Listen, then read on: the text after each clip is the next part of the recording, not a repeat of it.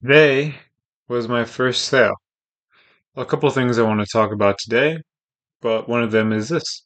I made my first sale after a year of being my own business business owner, being a life insurance agent, and helping trying to help out families. Today was my first sale. Why has it been a year since I had a first sale? Because I wasn't committed, because I did a lot of studying. There's a lot of studying in the background in order to get licensed by the state of New York and I was doing all that. So I was focusing more on studying. I was giving myself a little bit of excuses. But today was my first sale because inevitably, if you do the work, even if it's a little bit, if you do the work as long, long enough time frame, you will get at least one sale. And that was my case today. So today I'm pretty happy because of that.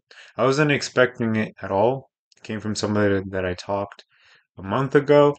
And yeah, that's what happens. Just keep let let people know what you do. You need exposure. Let people know what you do, and eventually someone will come through. And be on uh, be open and honest. That's what I was trying to say. I was trying to say those two words at the same time. Be open and honest. Don't be a salesperson. I know sales is important, but don't be a salesperson. Don't look for the benefit of yourself when you talk to other people. Be open, be a sorter, distributor, be a sorter. I do this, or do this, or is this something that you need? Is it something that somebody else that you know needs? Yes, no, no, okay, have a wonderful day. Hope you're doing all right. Yes, okay.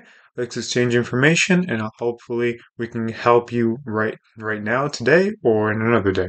Yes, no, yes, no. I'm not going to try to convert you into a yes. If you say no, say, okay, here's my number in case you need some, in case you know someone that comes to mind in the future. Then that's it.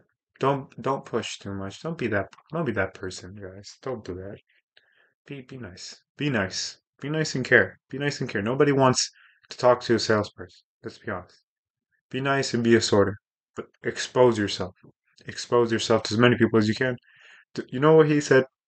He said to me during this because we were doing this. So we were helping his family with $500,000 in life insurance to protect his family. His family is in another country, but our our um, life insurance carrier is able to help them even if they are out of the country, something were to happen to them.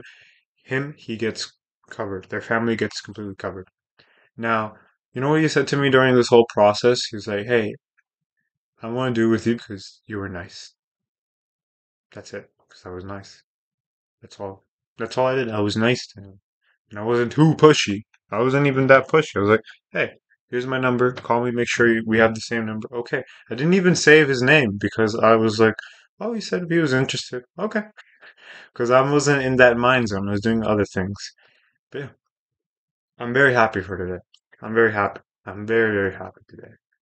I'm very happy. For me personally, financially, fulfillment wise, it is possible.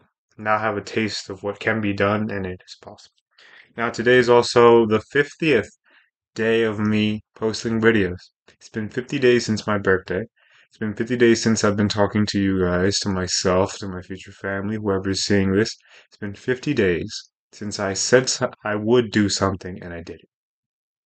50 days of consistency, 50 days of struggle, 50 days of ups and downs, of not being able to pay the rent, of being able to pay the rent by a miracle, of having friends come through when you least expected, having hope, hope and love, and just trying to be myself and find myself more. I think it's been a wonderful 50 days, and what a way to start off. 50th day, first sale. I'm happy. Let's do this. Let's do this.